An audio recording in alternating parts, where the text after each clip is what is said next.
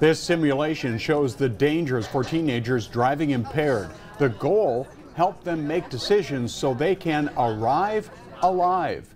Some Mid-Michigan students are getting a high-tech lesson today about the consequences of drinking, using drugs, and texting while behind the wheel. Good afternoon. I'm David Andrews. And I'm Ann Emmerich. The lessons are timely as students prepare for prom and graduation celebrations.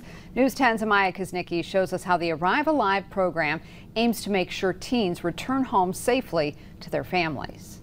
She's up there scoring today. It's good to know the consequences before they, they happen in real life. Students like Maddie Rigas got a chance to get behind the wheel using virtual reality to mimic impaired driving. It wasn't just that I wrecked another car, like I was speeding, I wasn't paying attention, I was swerving.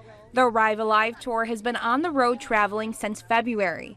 Safe driving instructor Heidi Martinez says she's visited every state in the U.S. We kind of follow spring break and prom all over the country because that is when people are drinking underage. But drinking and using drugs aren't the only factors of impaired driving. We all have a cell phone, but what we don't realize is that one in four accidents in the United States are a direct cause of texting and driving.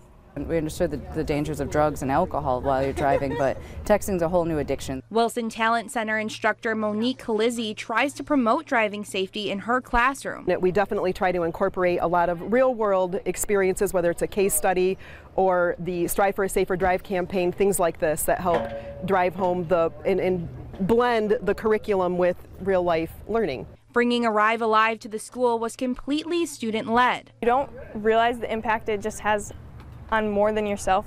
It has a big impact on other people as well.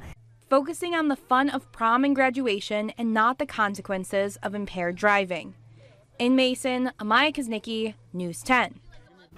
Arrive Alive's tour doesn't stop here. They'll be visiting different schools across the state of Michigan. Tomorrow, they're heading to Lawton High School on the west side of the state.